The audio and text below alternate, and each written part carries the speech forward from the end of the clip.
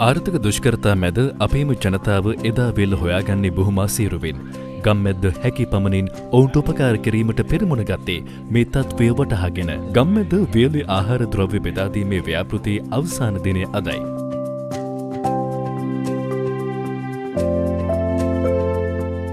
මෙම ව්‍යාපෘතිය මගින් දෙවයිනම ආවරණය වන පරිදි තෝරාගත් පවුල් දහසකට අධික සංඛ්‍යාවකට වේලි ආහාර ද්‍රව්‍ය බෙදාදීමට අපට හැකිවුණා. එම ආහාර ද්‍රව්‍ය බෙදාදීම සිදු කරුණේ ග්‍රාම නිලධහරීන්ගේ සම්බන්ධීකරණ යටතේ ප්‍රාදේශ ලේකම් කාර්යාල මගින් අනුමත කරනු ලද නිර්ණායක කිහිපයක් යටතේ තෝරාගත් පවුල් සඳහායි. අදත් ගම්මැද්ද ජනතාව ස්වාගෙන කැකිරාව මාතර ගාල්ල දෙයන්තර අඹන්පොළ යාපනය මුලතිව් කිලුණුච්චි මඩකලපුව නුබර එලිය බණ්ඩාරවෙල පොළොන්නරුව කුලියාපිටිය සහ රත්තොට ආදී ප්‍රදේශවල ගම්මානවලට ගියා.